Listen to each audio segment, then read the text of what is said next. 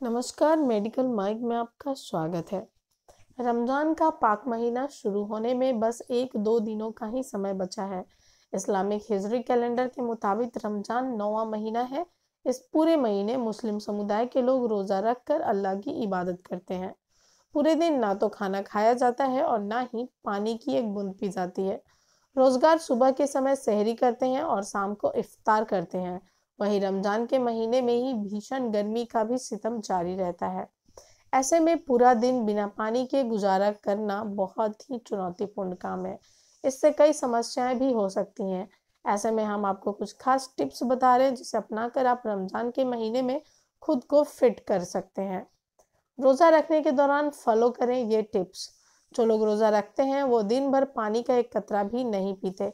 ऐसे में रोजदार लोग कोशिश करें कि घर से बाहर कम निकले, क्योंकि बहुत ज़्यादा देर तक चिलचिलाती धूप में रहने से आपको चक्कर की समस्या हो सकती है। जितना हो सके ज़रूरी कामों को सुबह ही निपटा लें कोशिश करें कि आप ज़्यादा से ज़्यादा रोज़े के दौरान खुद को हाइड्रेटेड और ठंडा रखने के लिए ठंडी और छायादार जगह पर रहें। खुद को गर्मी और प्यास से बचाने के लिए शरीर के तापमान को नियंत्रित रखने के लिए दिन में नहाना ठीक रहता है। रोज़े के दौरान तली भुनी चीज़ों से परहेज करें, क्योंकि दिन भर खाली पेट रहने के बाद अचानक से शाम को तली हुई हैवी चीज़ों का सेवन करने से पेट से जुड़ी समस्याओं का सामना करना पड़ सकता है।